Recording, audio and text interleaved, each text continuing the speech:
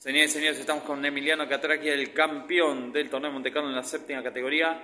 Acaba de superar en la final a Omar Frey por 6-2, 6-4. Bueno, Emiliano, primero que nada, felicitaciones. Contanos cómo fue el partido. Gracias. Fue, fue un partido muy trabado, los dos estábamos un poquito nerviosos, ninguno quería arriesgar. Eh, pero creo que el que tuvo menos errores fue el que, el que ganó.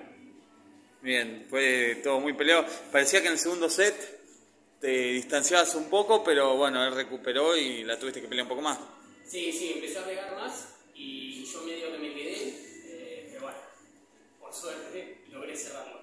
Muy bien, ¿a quién va dedicado este trofeo? Eh, va dedicado a mi hija Mila, a cabeza, y, pero por sobre todas las cosas a mi novia, a mi mujer, a mi compañera, que es la que siempre me apoya que, a que siga apostando. Muy bien, Emiliano, felicidades, a disfrutar y que sigan los éxitos.